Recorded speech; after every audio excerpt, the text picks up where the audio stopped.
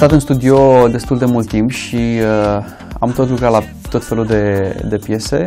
Mi-am dat seama că deja sunt prea multe piese și casa de discuri de la Roton uh, au zis ok, avem suficiente piese ca să le punem pe un EP, să nu facem un album normal să conțină 12 piese sau ceva de genul.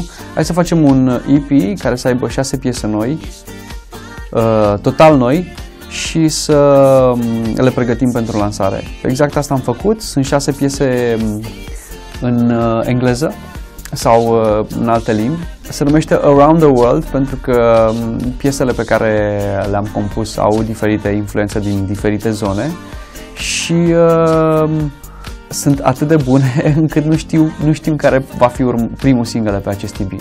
Cred că le vom lansa pe toate odată, le vom pune online pe toate odată și publicul va alege primul single.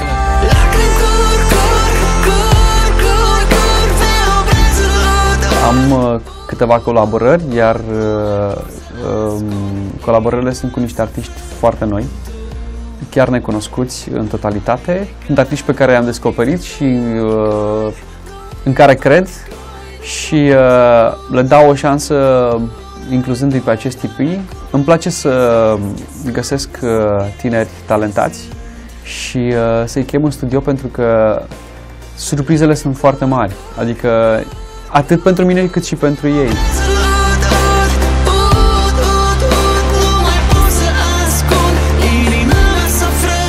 Seara m-am întâlnit cu Marius în studio. De fapt, e a doua oară când ne întâlnim anul ăsta în studio. El s-a întors în țară de curând. Și uh, am înregistrat o piesă, am înregistrat încă o piesă în care el va fi fit cu cineva, nu vă spun cu cine. Uh, și uh, de acum înainte mă voi ocupa eu de cariera lui și de repertoriul lui. Marius revine, da.